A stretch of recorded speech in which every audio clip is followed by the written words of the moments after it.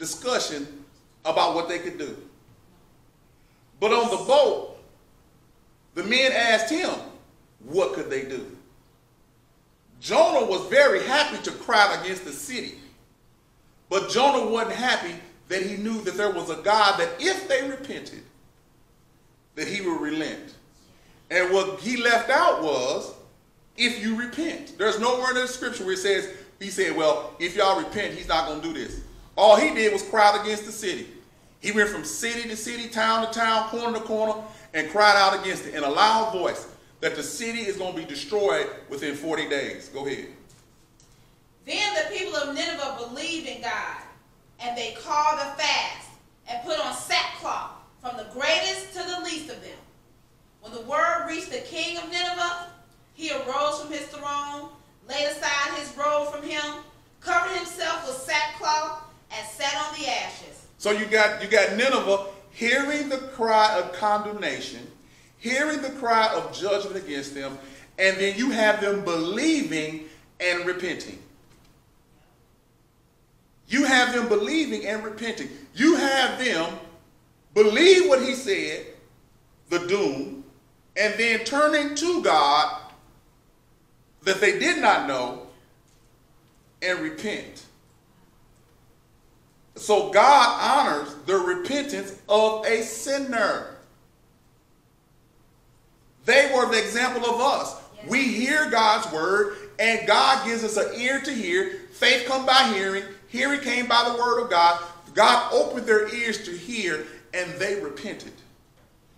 And Jonah has the best record of any evangelist on the planet. A whole nation got saved. That has never been done before. From the, from the top to the bottom, from the richest to the poorest, from the king's house to the outhouse, everybody got saved. And the king commanded for the, for the salvation of the Lord, because it belongs to the Lord, as we heard, he commanded that they do a ritual which was sackcloth and ashes. Sackcloth and ashes. They decided to repent. And God, in his mercy and his grace, decided to show a heathen nation that had been so cruel to his people. He decided to repent, to relent from the destruction of Nineveh, just like he did before. But they just got one prophet. Just think about this, saints. They just got one prophet.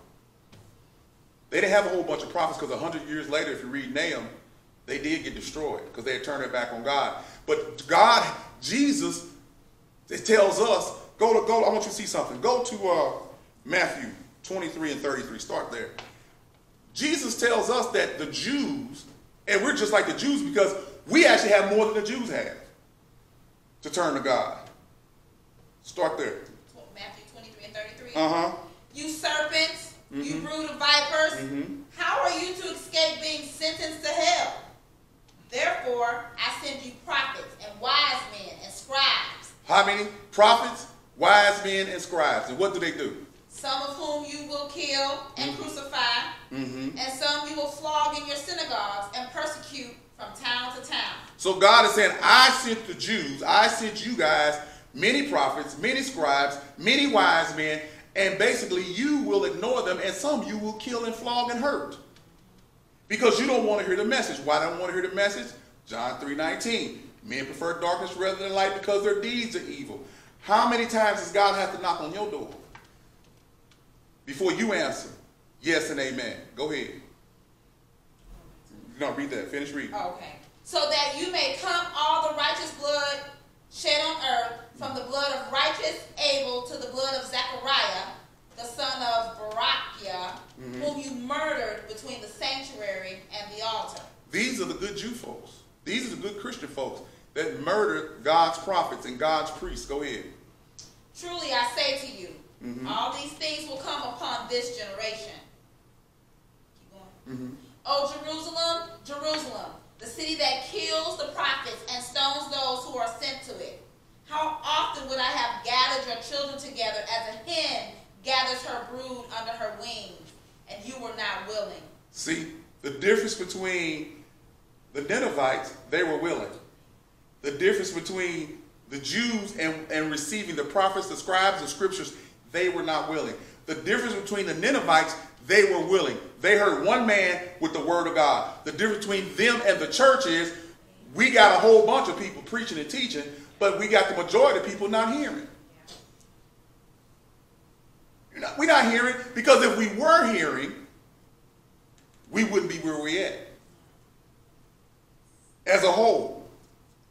If we were all preaching repentance and sin and saving and the gospel of Jesus Christ versus the social gospel of God wants to make you happy, then we would have the, the, the results of the gospel. But since we're preaching another gospel, which is which is a sin, then what we get is the seed of what we planted. See, the, the, the thing about it is, how long do we as the church realize that we have everything we need to believe in God? And everything we need to, to, to walk upright before God. We even have the sacrifice which they didn't have as Jews, which is God himself, Jesus in the flesh. We should be like the Ninevites. One, one time we hear the word of God, know it's the pure word of God, then we all repent. Go back to the Ninevites. And that's what I want you to think about today. How many times does God have to come to you? Are you like Jonah? That you got to be put in peril, you got to go through all this trouble. Some of you come to the altar with the same thing every time, and you wonder what's going on. You're not being obedient to the, to the light that you have. You want more light, but you're still walking in darkness, but you want more light to impress who? Yourself and others. Jonah had to be humbled. Jonah had to be broken. Jonah had to die. And so do you. You don't have to go in the fish, but you got to die to self to be a servant of God. Go ahead. Go back to Jonah, yeah. Okay, verse 7. Mhm. He issued a proclamation, and it said, In Nineveh, by the decree of the king and his nobles, do not let man, beast, herd, or flock taste a thing. Yes. Do not let them eat or drink water. Both man and beast must be covered with sackcloth. And let men call on God earnestly, that each may turn from his wicked way, What you say, turn from what? from his wicked way. But somewhere in this Bible tells us that if my people are called by my name shall do what? Turn. Turn. That word turn, when you see in the Old Testament, turn from your wicked ways means repent. If they will turn and seek God earnestly, does it say that in that? Yep. Seek ye first the kingdom of heaven and, and, and God's righteousness? Yeah. If we turn from our wicked ways, the people are called by my name. These are people that are not called by his name, but they have enough God in them and enough sense in them to turn and seek God earnestly. Not their pagan God, but the true and living God. Go ahead. And from the violence which is in his hands. Mm-hmm. Who knows, God may turn and relent and withdraw his burning anger so that we will not perish. So what they did was rely on the kindness and the mercy of God, and they did not presume that God was going to save them. What they hoped was that the God of what they heard about, the merciful God, would actually save them because they deserved, because of their wickedness, to have this proclamation against them. Jonah knew that they were wicked. Jonah knew that probably back in his day when he was a child, that he watched his parents, his, his kinfolk get taken away by the Syrians. He knew how evil and brutal they were, but God wanted to save them. And that's the kind of God we serve. God wants to save the worst of us to show that he's God. So we're in a situation now where some of the worst of us are being are, are, are on display. And people, and, and, and, and, it's, and it's showing how, how much you don't understand the word of God. Because you want something to happen to the worst of us. But see, when you want something to happen to the worst of us, you also want something to happen to yourself. Because you don't get to determine what's worse. God does. And because God is rich in mercy and grace, he wants to shed his love abroad for everyone. He desires that all should be saved. But it's us that desire that a certain folk in a certain look in a certain way, and they have to do a certain thing to be saved. That's not the gospel. The gospel is for all those who would believe. And John it said they are they are perishing because they don't believe already. But the Ninevites believed when the Jews and the Christians don't. That's why it's easier to deal with somebody who's a full blown sinner than to deal with somebody who's just churched. Because they believe they're better than somebody else. And when you're better when you think you're better than somebody else because of something like this, you're not better because you're saved. You're better because God saved you. Salvation is in his hand. Read. We almost done. We almost get to chapter 2. Go ahead. When God saw their deeds, that they turned from their wicked way. Their deeds. So I guess God didn't register their deeds as being evil because they did it in faith. They had no relationship to the true and living God. They weren't Jews. So the only way they could do the sackcloth ashes and all the things that they did and turn from their wicked ways, they said, maybe God will repent. They did it by faith, and without faith, it's impossible to please God. Go ahead. Then God relented concerning mm-hmm. the calamity which he had declared he would bring upon them. Mm-hmm. And he did not do it. And he didn't do it. You know, Jonah mad as a bear now. Yeah. I would be. You mean that you saved me, and I'm thinking probably you saved me to crowd against this city because you wanted it destroyed, and it's turned around that you didn't want to destroy it. You wanted to save what I hated. You wanted to save the people that I hate. The people that have been so evil to the Jewish nation, you want to save them? They're not Jews, they're heathens. They're not like us, they're heathens. And you want to save the worst of the worst? Well, I want to challenge you in this. Because I know we're in chapter 2 now, right? That was the end of chapter 3. Ah, good. So think about this. Jonah has now watched God save the people of Nineveh and he's unhappy. And we're to see how, much, how bad he is unhappy. And now we have a situation where, if you think about the blood of Jesus, saints of God, I want you to be careful when you say some things about people not being able to be saved. Because if there's one person on this planet, no matter what they've done, that cannot be saved by the blood of Jesus, then we're wasting our time. I don't care what you think. I don't care your emotional, your emotional attachment to it. If the blood of Jesus doesn't cover every sin that man could possibly do, then we're wasting our time. Because who who who determines if his blood didn't cover mine? See, so we're gonna see how bad Jonah is. Go ahead. Yeah, go on chapter four. We're gonna finish up today. But it greatly displeased Jonah, and mm-hmm. he became angry. Jonah became angry. Jonah got mad. What? Hold on, hold on. You done gave me the message twice that they were going to get destroyed, and you didn't destroy them, all because they they listened to me. And I've seen calamity come upon Israel, but Israel, you didn't listen. As we read in Matthew, I would have gathered you, but you didn't listen. You killed all the prophets. You've harmed the, your own kinsmen and didn't listen to me. That's why you go into captivity. That's why you have your problem, saints. You're not listening to God. And when God decides to use you on the enemy that you hate the most to save them, you get mad. Because you're like, how dare you use me to save the person that I hate? Who are you? He's God. He's trying to wake you up. The Ninevites are fine. He's still dealing with Jonah. Jonah still got issues. Jonah still doesn't love who God loves.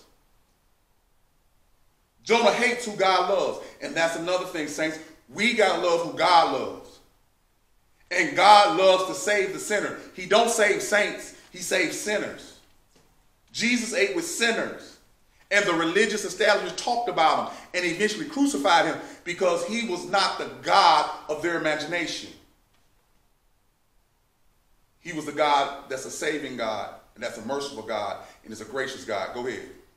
He prayed to the Lord and said, Please, Lord, was not this what I said while I was still in my own country? Therefore, in order to forestall this, I fled to Tarshish, for I knew that you are a gracious and compassionate God, slow to anger and abundant in loving kindness, and one who relents concerning calamity. So, in other words, he said, he said this back before he got started. You was to send me on a mission to condemn them, but I already knew that you was going to save them. But I didn't want to go. That's why I went to Tarshish. Because I knew you was a loving God. I knew you was a gracious God. I knew that you was a merciful God. I didn't want to go talk to them over there because I knew that you wanted to save them. I wanted you to punish them because they hurt me. They came against me. How many people did you won't punish because they hurt you? And God is saying, I'm trying to use you who's hurt to save them. You go from being the victim to the victor. See, it is easy to be the victim. Why me? I'm going through. But how much more do you show that you're Christ like when you take the victim out of the equation and become the victor and say, no matter what has happened to me, but God. Because he's left me here, he wants me to witness to my enemy that they might be saved. It doesn't take away from the natural consequences of their actions. Because in Nahum, they're going to get destroyed because they, guess what? They're going to go back. God not going to send nobody else. He gave them one chance. He's not going to send nobody else. They're going to get destroyed. But not at the, at the voice of, of Jonah, but at the will of God. Go ahead. Therefore now, O Lord, please take my life from me. So Jonah now wishes that his life be taken from him because he mad. Now think about this. Jonah mad because God saved. Go ahead. For death is better to me than life. Now he wasn't saying that when he was in the fish. That caught me like, okay, you wasn't saying death is better than life when was in the fish. You had the same mission. So why is it now that, that, that you are upset? Because God did something that you didn't want to do it and that you thought, and you knew that, hold on, said that you knew that he was going to do this, so why are you upset? That's how egotistical man is. Even though we know that God is merciful and gracious when he shows it to a person that we don't think deserve it, we get upset because we say they don't deserve it. Go ahead. The Lord said, Do you have good reason to be angry? He said, do you, do you have a reason? What is your reason to be angry? Do you have a good reason to be angry? What did he say then? Then Jonah went out from the city and sat east of it. Now, can you imagine Jonah huffing out the city? God asked a question. He didn't answer. He didn't answer God, did he? He said, "Do you have a good reason to be angry?" And I can imagine Jonah stomping out the city. Yeah. Okay, wait, because the forty days hadn't happened yet. So he hoping they slip up. Go ahead. There he made a shelter for himself and sat under it in the shade until he could see what would happen in the city. So Jonah had to be elevated above the city to see what would happen in that great city. Yeah. So he built him a little hut and sat under it, a little shelter because it was hot. Yeah. Go ahead. So the Lord God appointed a plant, and it grew up over Jonah to be a shade over his head to deliver him from his discomfort. Now, God gave Jonah a mission and a word. Jonah went in the wrong direction. God brought a fish. Then uh, no, God brought a storm. Then God brought a fish. Then God put him on dry land. Then God gave him a message second time. Jonah went and did what God wanted to do. Yeah. Jonah gets mad and wishes to die. Yeah. And now God gives him shade in the middle of his anger. He gives him relief. He shows him mercy and grace another time and provides relief for him in the midst of his anger. The Bible says, Be angry and sin not. Jonah is sinning because he is wishing that God destroy Nineveh. But he already knows that God is going to be merciful to them. Go ahead. And Jonah was extremely happy about the plan. Oh, now Jonah happy. Now, now, now, now pay attention to this, saints. Jonah is happy about something that God did for him, that God was trying to do for them. Now Jonah's happy about the relief God has given him in the plant that gives him comfort, shade, protection. God wanted to provide salvation for them. What God wanted Jonah to see is, I am the author of salvation. I am the author of comfort. Just like I saved them and used you, I raised a plant, and we're going to find out that you didn't labor for, but you happy that you get relief because I did it. So why can't you be just as happy for the Ninevites who I decide to love and save? Go ahead. But God appointed a worm when dawn came the next day, and it attacked the plant and it withered. Mm-hmm. When the sun came up, God appointed a scorching east wind, and the sun beat down on Jonah's head, so that he became faint, and begged with all his soul to die, saying, Death is better to me than life. The third time he begging for death. Go ahead. Then God said to Jonah, Do you have good reason to be angry about the plant? And he said, I have good reason to be angry, even to death. Then the Lord said, You had compassion on the plant for which you did not work, and which you did not cause to grow, which came up overnight and perished overnight. Should I not have compassion on Nineveh, the great city in which there are more than 120,000 persons who do not know the difference between their right and their left hand, as well as many animals? And we leave you right there. God showed compassion on Nineveh for the sake of the children. Because men and women, adults know their left hand from their right. Children don't. Babies don't. And what God did was say, I'm not going to hold the evil of your parents against you. I'm going to give you an opportunity, the next generation, to walk in the story of your parents accepting Jesus, accepting God. And so do we. Do we have any reason to be mad when God decides to save someone? Do we have any reason to, is God as good as God has been to us and sheltered us and kept us from harm's way? Do we have any reason to believe that somebody can't be a sinner and come to Christ? Do we have any reason to look down on those who slip and fall and may fall back into sin but want to get delivered? He delivered Jonah and he delivered Nineveh, and God will continue to deliver you. How much more are you expected to be that loving person, that kind person that gives someone the gospel, that's so gracious and, and understanding and long suffering, and you exhibit the fruit of the Spirit. And, and even though you didn't die for the fruit, Jesus died so you can have this fruit, that you can display it to other people. You have the power of the Holy Spirit in you. You have the power to forgive, you have the power to forget, and you have the power to raise up through the gospel. And you have to take advantage of that. You have to decide today that you are going to be obedient and do what God has called you to do. And not put people in harm's way. And realize God is most gracious to those who are the most evil. He's the most gracious. Where sin abounds, grace abounds much more. So, with knowing that, we need to govern ourselves accordingly in light of what's going on in this world today. In light of what's going on in the United States today, right now, we need to be the ones who show the grace in the midst of the sin.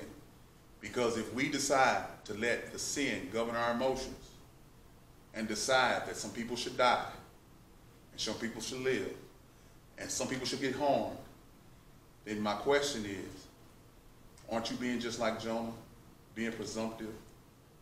God lets people live for a reason, and God has you here for a reason. And maybe, just maybe, your reason is you're going to give the gospel to somebody that you hate to save their soul. Just think about that. All right, then. That's the end of today's lesson in Jonah. We will get back. Does anybody have any questions or comments?